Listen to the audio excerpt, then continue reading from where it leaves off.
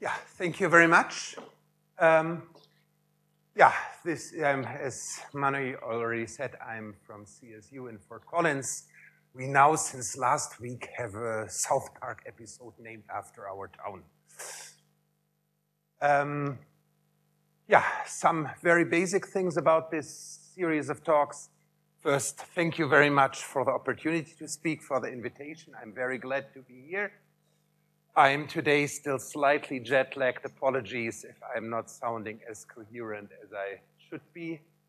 Uh, it's a lecture series on computational group theory and the system gap, but it's not intended to be reading you the manual. There are a lot of things which are in the manual and which one can re-look up, and that doesn't really lend itself to the presentation about the system. So don't take this as everything will be in these slides. Essentially look at them as pointers to the manual. There are pointers to certain routines which are useful.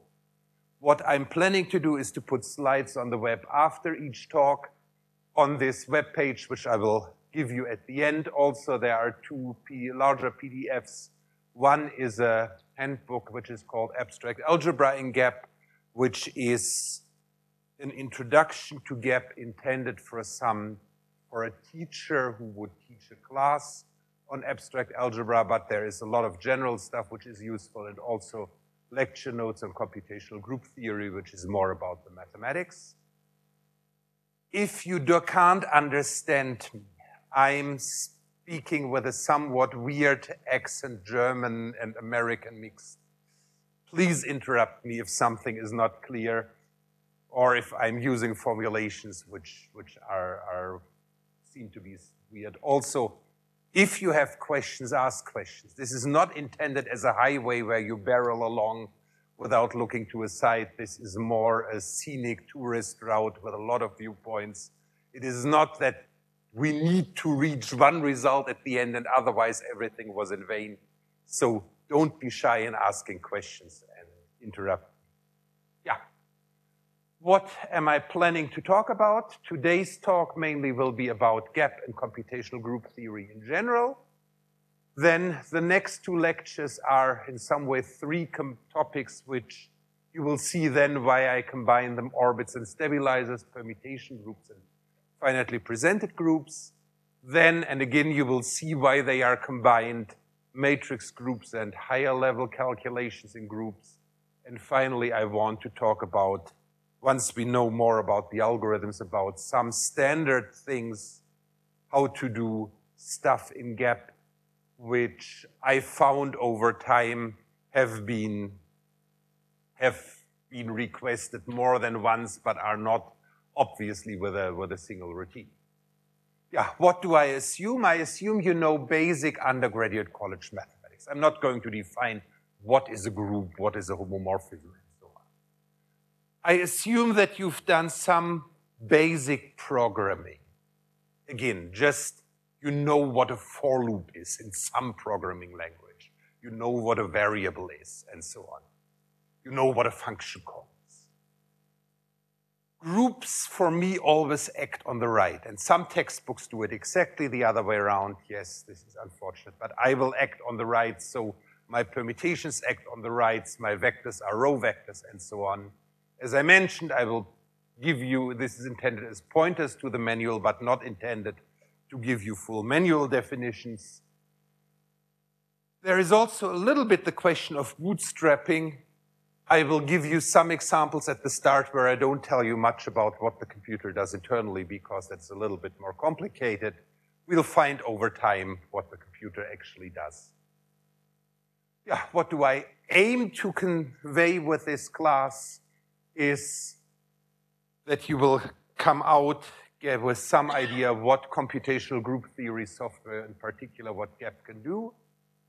How should you phrase your questions so that the computer can solve them effectively? You will have to do so, you will need to have some idea about the underlying algorithms, what actually happens internally, what things can be done to help with performance or with memory use, a little bit how you can interface with GAP. Yeah, so let's, let's start with the first topic. This is about GAP and computational group theory. What is computational group theory? That's the study of algorithms for solving problems from group theory. And you can look at it in two ways. You can look at it on the one hand side from theory. What is theoretically possible to do? What's the complexity of doing certain calculations? This has a lot of connections to theoretical computer science, in particular the P versus NP problems. And just at the end of last year, there has been the famous result by Babai about graph isomorphism, which essentially says, and what needs to be done to solve it completely is a problem about group isomorphism, and so the ball there is in the court of group theory. However, my talks will be concerned mainly with the practical side, concrete calculations, how can one do them, how can one do them effectively, and these concrete calculations are there for experiments, for study of examples, for dealing with smaller cases. If you do things on the computer, computers always need finiteness. So we will have some infinite groups coming up, but there always will be some kind of finiteness condition which actually makes calculations feasible on the computer. Um, on the other hand, I also should say these are intended as mathematics talks, not as software engineering talks. There is, in the end, a lot of software engineering aspects in making algorithms work effectively. Uh, but I basically won't go there. But if you're interested in that, or in particular, if you have started programming and you ran, run into issues where you feel now it needs software engineering, I'm happy to talk about this on an individual basis. Yeah, what is computational group theory used for? I mentioned already, it's concrete calculations in concrete groups. The main uses have been to study examples, find out how do things seem to behave, which can lead to conjectures, which one can then hopefully prove. Often it has been quite interesting to just run through libraries of groups in small, of, with small parameters, small order, small degree, or so to just see how does some conjecture behave. There are, if you go more to the side of writing proofs, Often proofs have some base cases or small cases. Well, small for the proof because it's not all numbers, but small might still be quite big, where the general proof method doesn't work and where one needs an ad hoc argument. The calculation often can settle this easily. Uh, of course, if you apply group theory, people from areas of application might not really care that much about proofs, but they have a concrete group and they want a result there, and they might be happy with the calculation. What I also want to emphasize is there is no general solve my problem function where you just write out what is your problem and the computer will try to be clever. Basically, to solve problems effectively, you need to know some things about the underlying algorithms because otherwise it's very easy to fall into the trap of some generic method which will never terminate in your lifetime. Yeah, GAP, which stands for Groups, Algorithms, and Programming. It's open source software for computational group theory. There also is a program called Magma, which I basically won't mention after this. In Maple, there is a little bit, but no, really not very much. It's available, for example, on www.gapsystem.org. You can download it from there. I also have it on a memory stick here if somehow the network connection doesn't work well. In the first practical session, we will install it. Well, you will install it on your machines, but I'll be around to help you with doing so. If you're interested at some point to get more involved with software development, the source is on GitHub uh, under GAP systems GAP. It's software which originally was developed in a Unix environment and a lot of its behavior still is inherited from there. But we have a Windows version. Yes, it looks clearly in a way that it can't deny its Unix heritage, but it works there.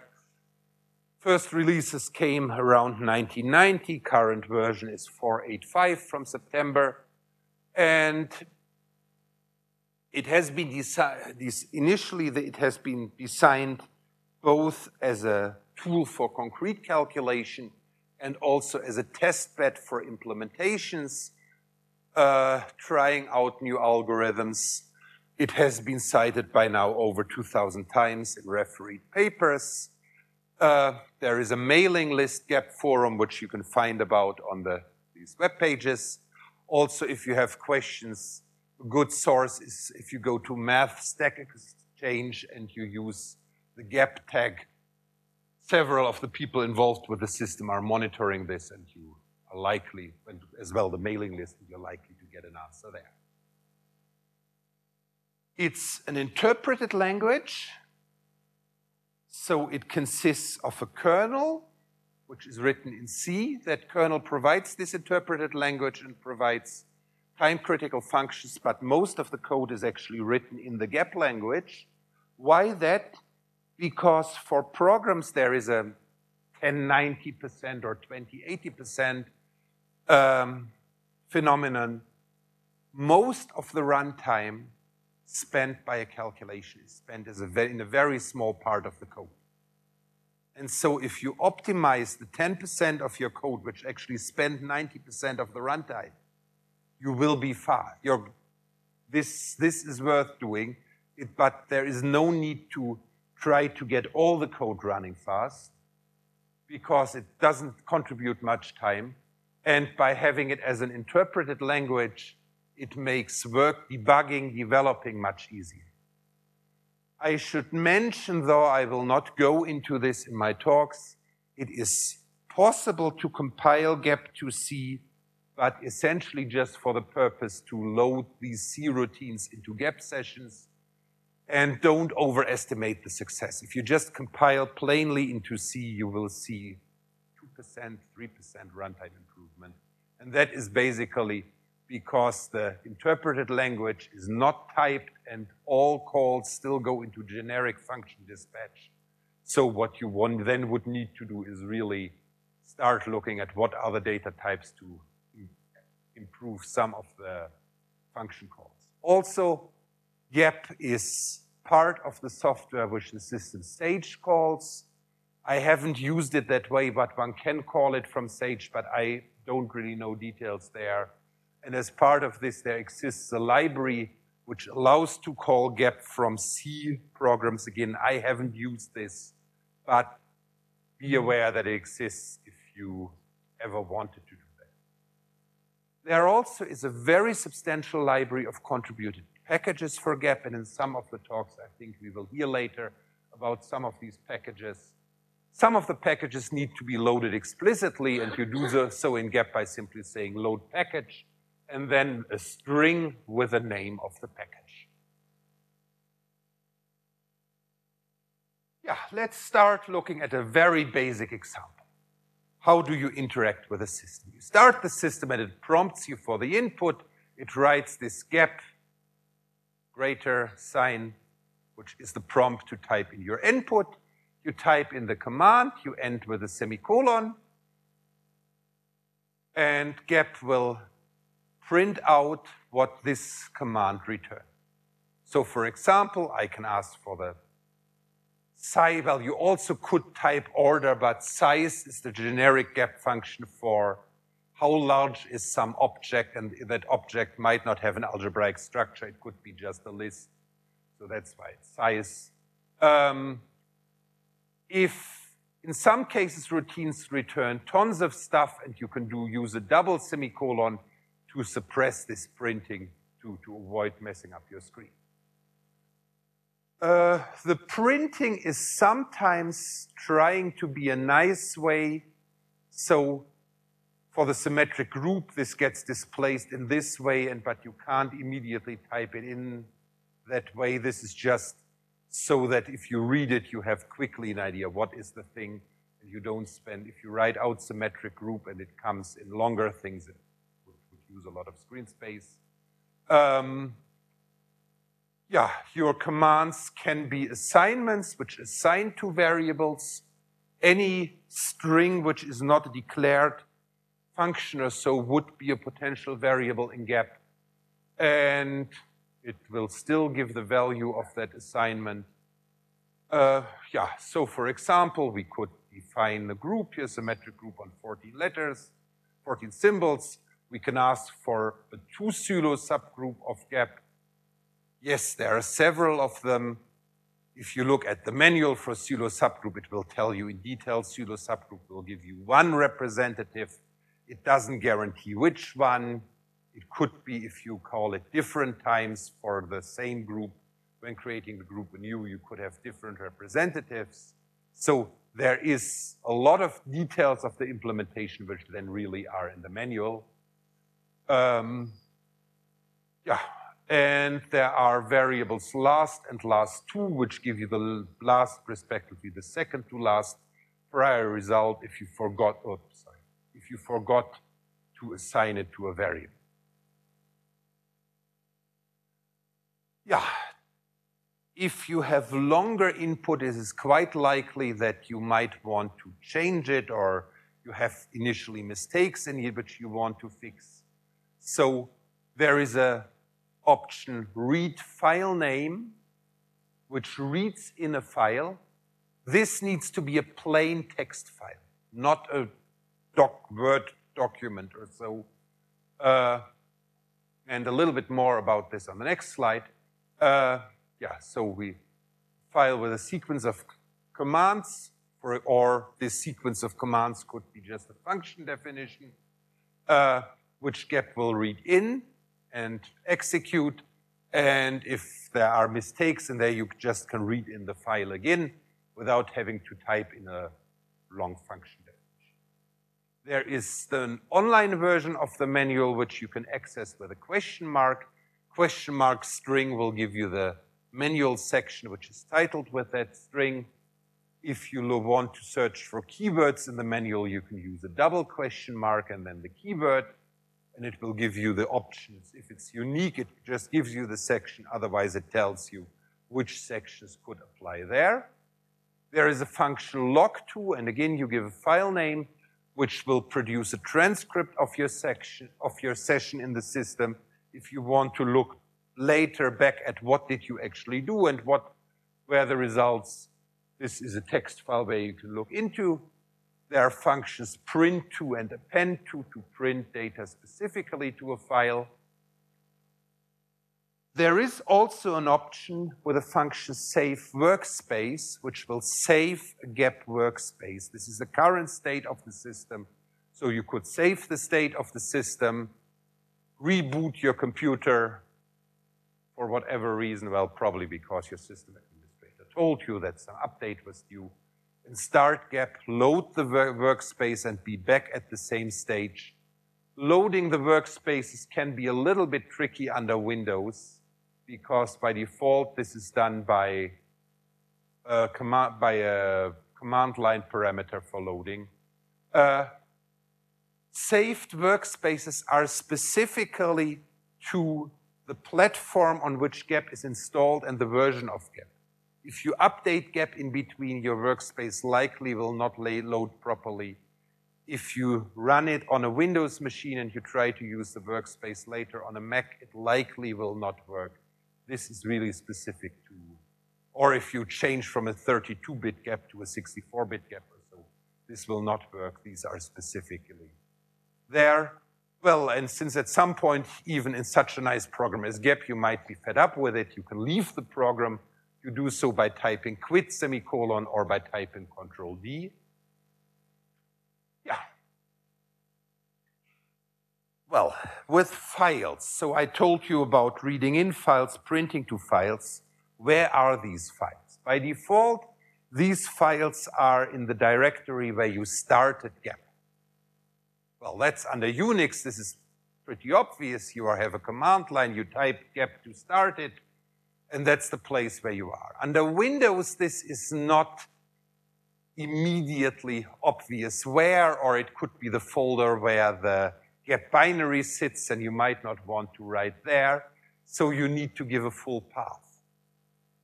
With the Unix, Unix heritage of GAP, that path has to be given in a Unix style.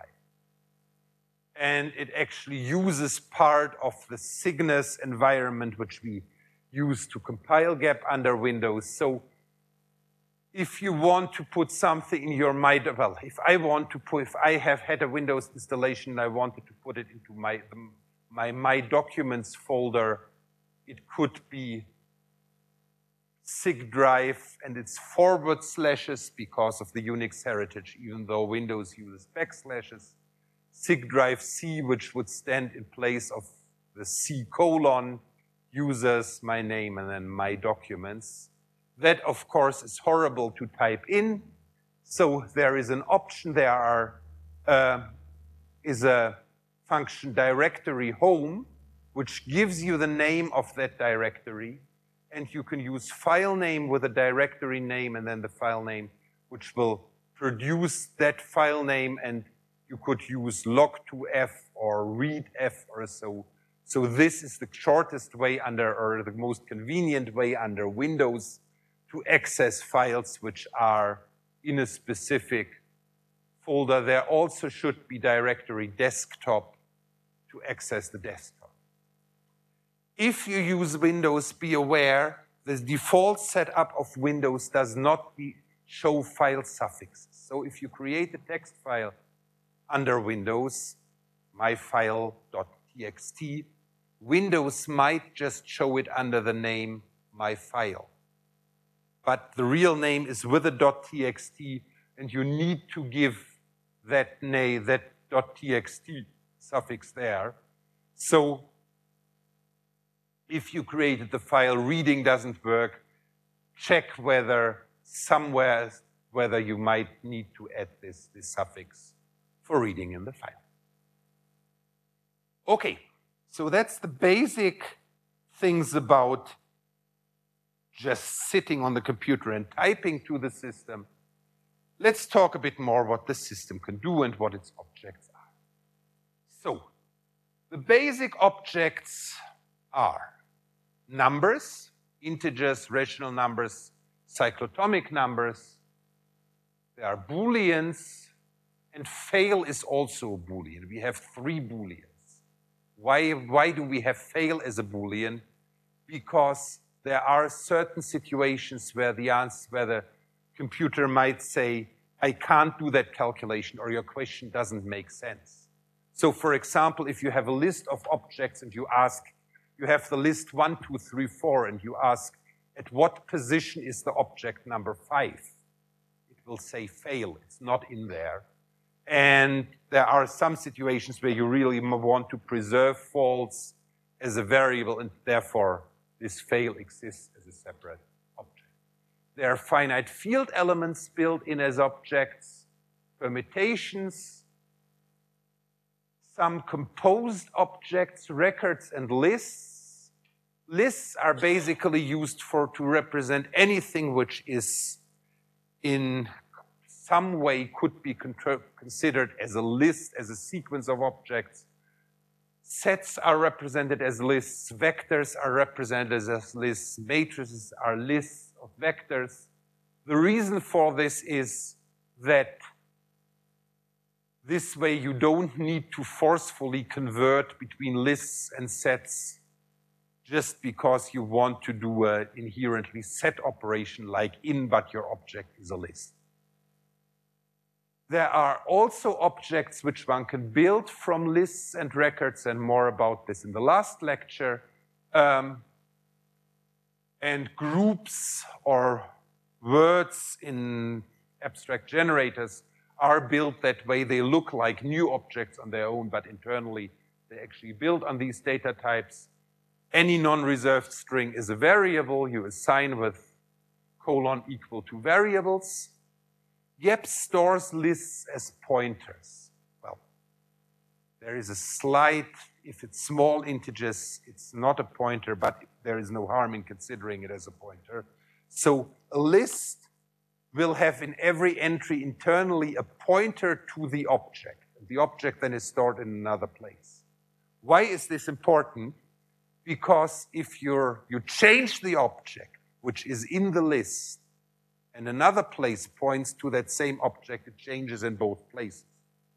So in the computer science ling lingo, This means the lists, and the same happens with function calls. They are called by reference, not called by variable.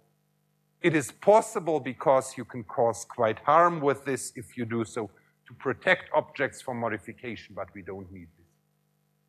There is a programming language which falls broadly in the ALGOL family. Well, I don't know anyone who nowadays still uses ALGOL, but if you've used Pascal, Java, Python, it's, it's this kind of language. It's an interpreted language. There is a break loop which allows you to inspect the variables where the program, uh, at the point when it stopped or ran into an error. And that just, at least I found this to be a God's end for debugging, trying out how do things behave. Uh, because the objects are quite complicated sometimes, and if you only had a GNU debugger to work on the C level, this could be horrible to do. Yeah, I mentioned this break loop. It's worth briefly talking about this. So, if the, your routine or your call runs into an error, this could be an error in gap, it could be inconsistent parameters. It could be even you're running out of memory. gap will give the error message, and then the prompt will change. It will change from gap to BRK greater. So at this point, you could look if you access variables. At this point, the scope is the scope of variables is the scope of the current local function. So you can look at local variables which you other, of the function which you otherwise can't you could type where and then the level, how long backtrace you want to see exactly at what point in the call stack you are. By default, it calls, it prints immediately where five, the last five calls, but if you're very deep in a function, you might need to type this to see it all. You could force this prompt by typing Control C for interrupt. If you have a long calculation, no idea what is happening, you can type Control C and it will tell you where it is and you could see what, what is it actually doing at the moment. Well, of course, you don't want to stay in this break loop. You want to get out and you get out of it exactly the same way how you get out of GAP, namely typing quit semicolon or typing control D. If you write your own functions and you actually want the possibility to trigger an error, there is a function error in the language and then a string or variables. This is like print, which will display that information, and then go into the break.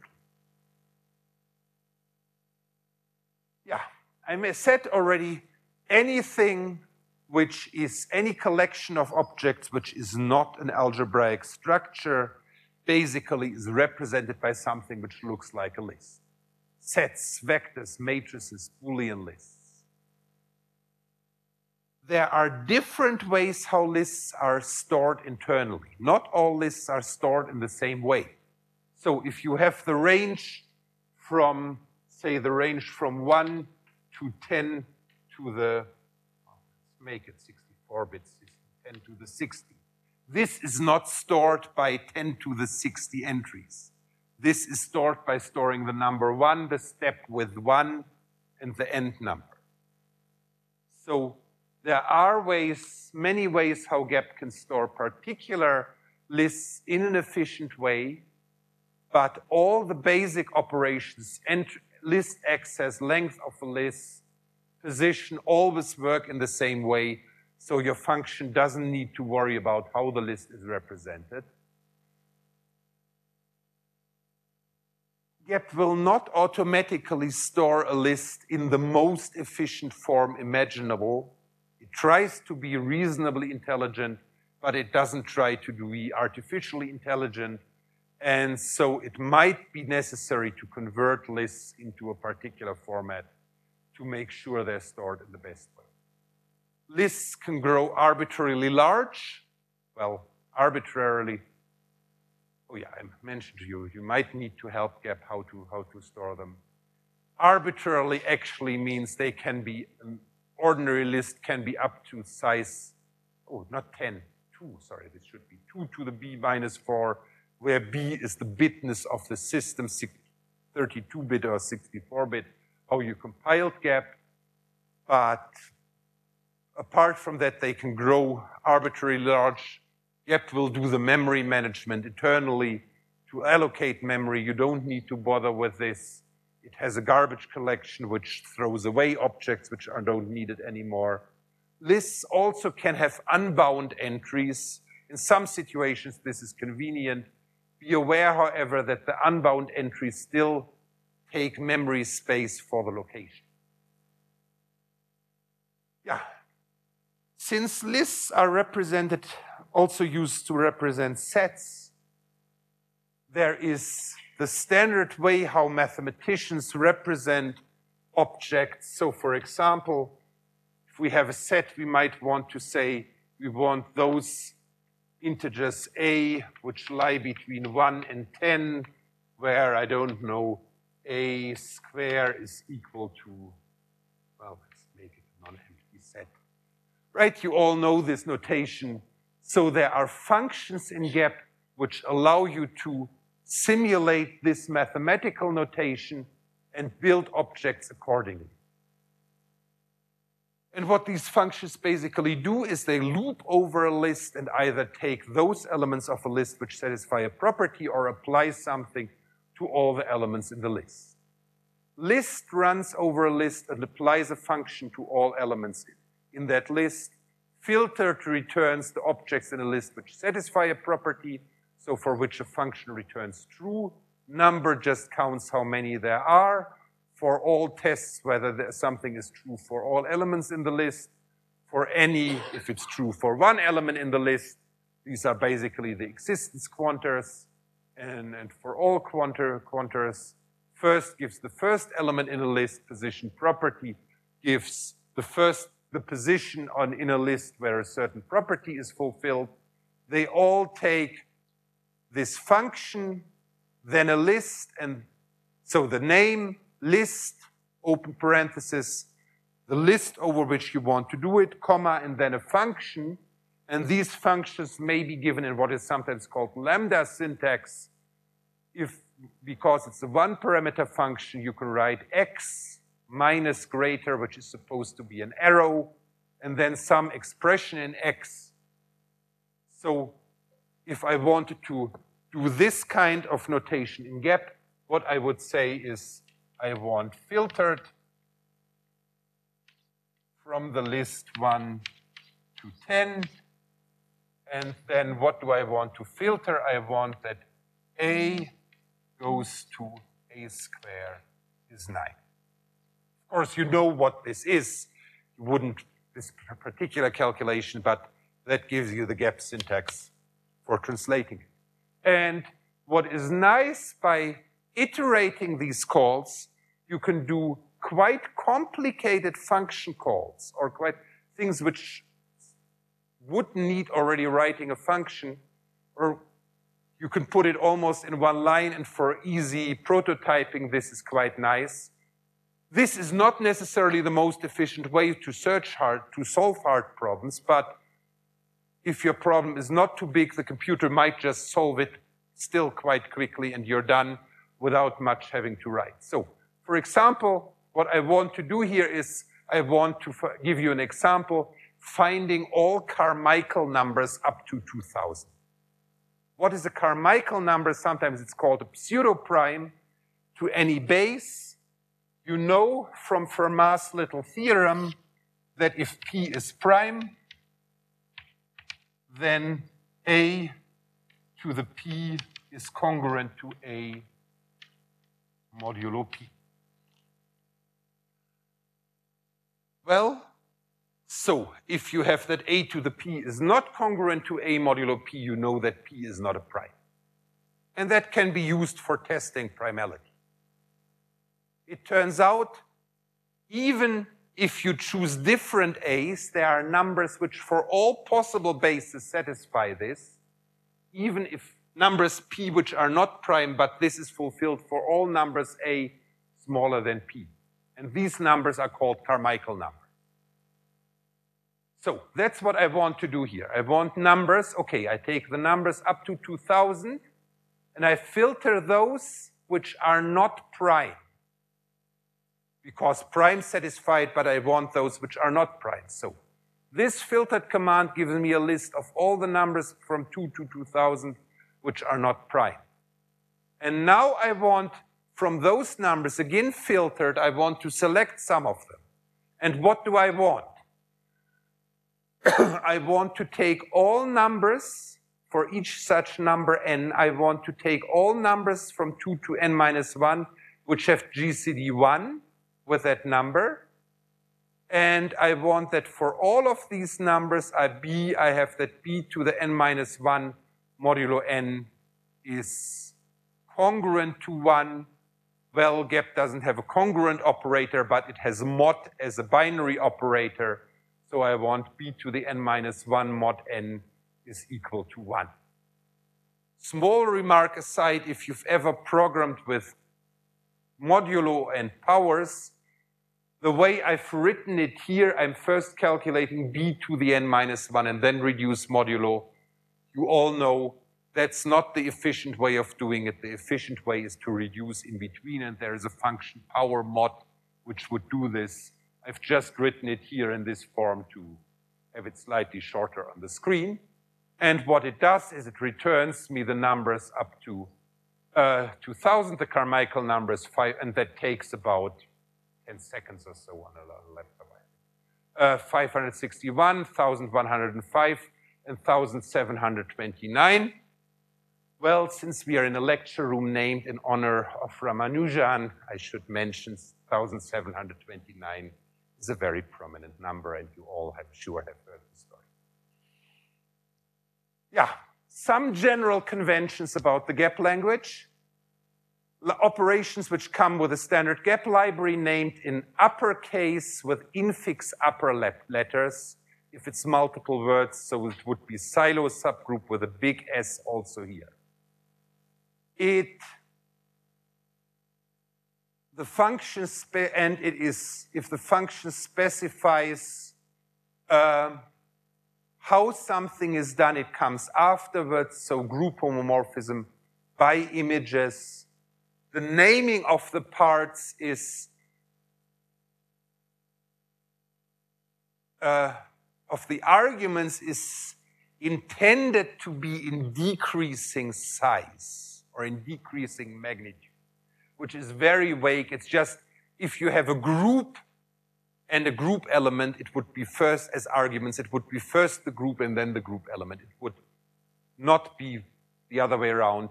So if a function took a group, a permutation, and a point, it would come in that ordering by default convention. And I'm sure by brief search, you will find examples in the library where this is not satisfied, but that that's the basic idea. There are things which are called attributes.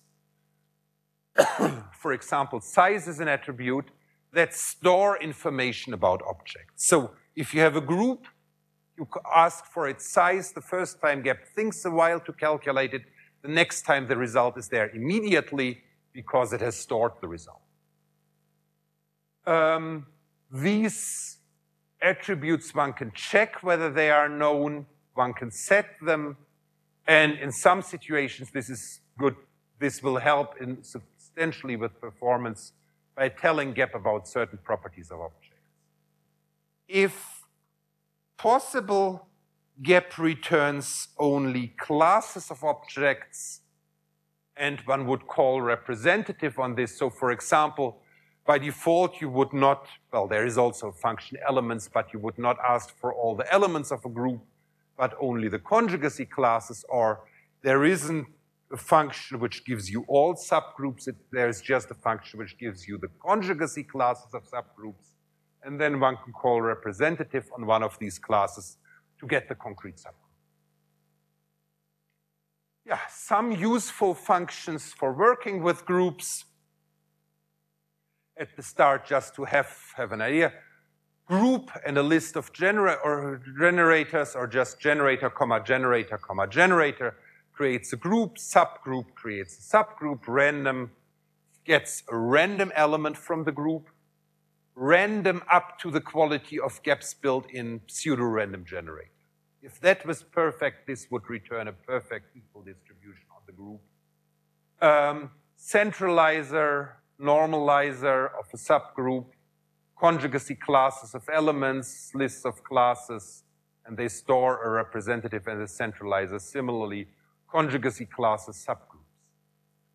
There is a function which at least I found quite useful, intermediate subgroups. This gives you all subgroups between a group S and a group T. If you've ever tried this on a larger example, you found that it's lousily slow. Well, in the next release, next major release, this will be less lousy. This is something which recently got improved. Normal subgroups, maximal subgroups, again, we don't, you probably don't want all of them, but you want them up to conjugacy.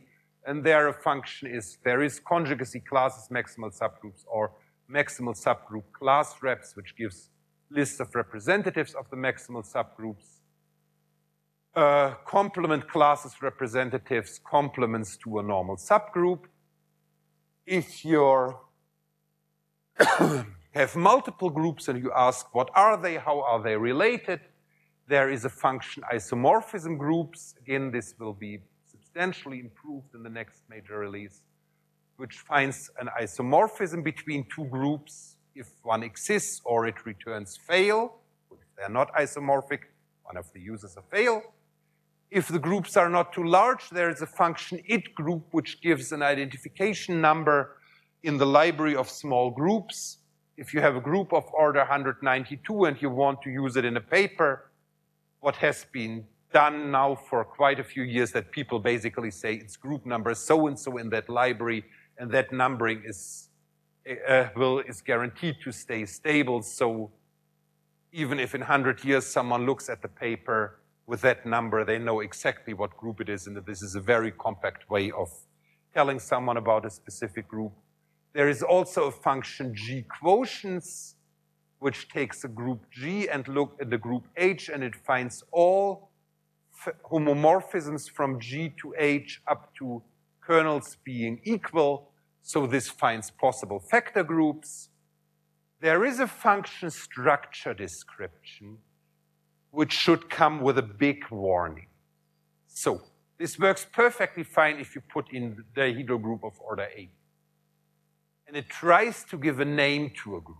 But if you've looked a little bit into construction of groups, you will see immediately that a lot of groups really have in some way the same construction name simply because direct product, semi-direct product, and so on. There are so many ways to form semi-direct products that you will potentially get a lot of groups. so if your groups get bigger, this might not be unique. It might take very long. It, it looks initially like a very cool function, but really be aware that it is severely limited in its, in its scope. Yeah, let's look at a basic example. Let's say we ask how many subgroups of M11, you've heard in the last lecture what M11 is, are isomorphic to A5. And this is just to have a toy example I can construct easily. This is not necessarily the fastest or the best way of answering this, but just to show you some functionality. I'm constructing the Mathieu group as a group by, generated by two permutations. There is also a function Mathieu group, but I wanted to show you the group command. I take the symmetric group S5, take its derived subgroup. Indeed, I could immediately have called alternating group of five, but I wanted to show you these. Um, I calculate the conjugacy classes of subgroups of M11, take their representatives, there are 39 classes, so I now have 39 subgroups. I take those which have the same order as A5. There are two of them. I ask, are they both simple? Yes, they both are. So simple group of order 60, they must be A5. I can ask GAP, for example, to find isomorphisms from these subgroups to A5. I can ask if I go from M11 to S11, are these two subgroups conjugate? No, they are not. Otherwise, this would return a conjugating permutation, but here it returns fail. So they're not conjugate. Um, and I can, if I want to know how many subgroups are there in total, these are not just these two, but those which are conjugate. So I call sum, and sum also takes works like the list functions, run over this list of length 2, and for every subgroup X, calculate the index of its normalizer in G, and sum them up. That gives me 198. So M11 has 198 subgroups which are isomorphic. Yeah. Some more things about how to get into agreement with the system. Mm-hmm. GAP is a very good bureaucrat. It will only give you results that are correct. This is subject to, well, program errors. Of course, we don't have any bugs in Gap, But, well, there are, there are errors. There also could be computer errors. You could have cosmic rays flipping a bit in memory. Chance is very small, but that in principle that could be. Subject also to publication level research. Typically, this would be refereed research, but that includes the classification of the finite simple groups. So if you're doing calculations with GAP, implicitly you're assuming the classification. In most cases, this doesn't matter, but if you're suspicious about the classification and you want to verify things, you might need to be slightly careful what commands you use in a calculation. Results all returned always are true, even if random methods are used. In these cases, a verification step will follow. GAP also will aim to answer all the questions which have been proposed to it, if it can at all. Even if it means that it enumerates all elements of a huge group exceeding all the memory you have, or starts a calculation which will not finish in any of our grandchildren's lifetime. Even if it brings a multi-user machine to its knees.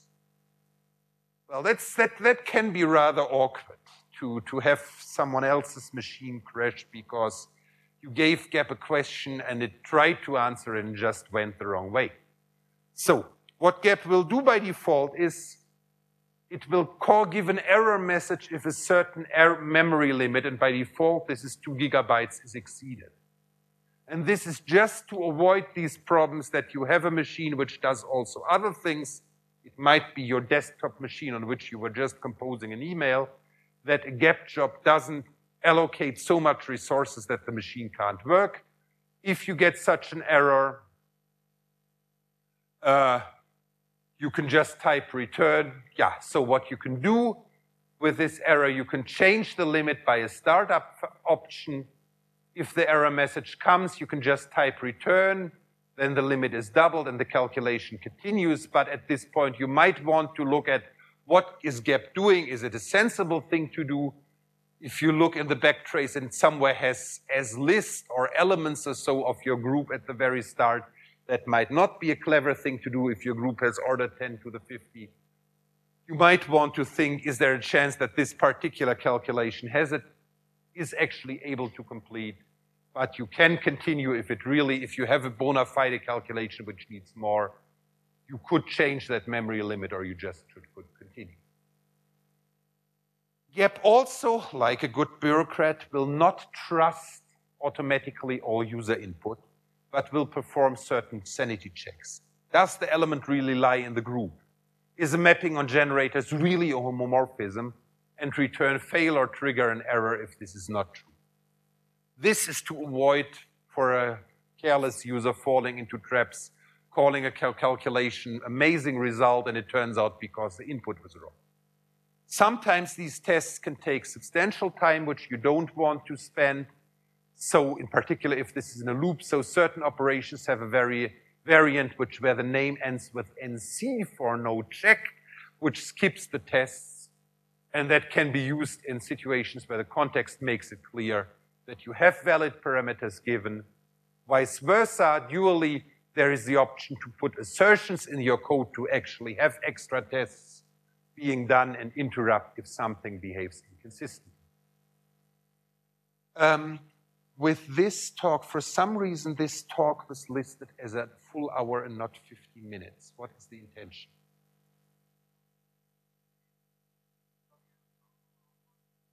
Okay, okay, so I, Okay, so I, if you want, I have 10 more minutes. or are you very hungry? You're very hungry. Okay, so we'll continue with that next time. And let me just, oh yeah, no, this might be a bit more. Let me just finish with this slide, which gives you the link where I will post the talk slides and where you also can find these lecture notes, which I mentioned before. In principle, this should work with a cell phone to give you the link without typing, but yeah. Thank you very much, and I'll see you this afternoon in the tutorial and when we will install GAP and look at some basic calculations. Thank you.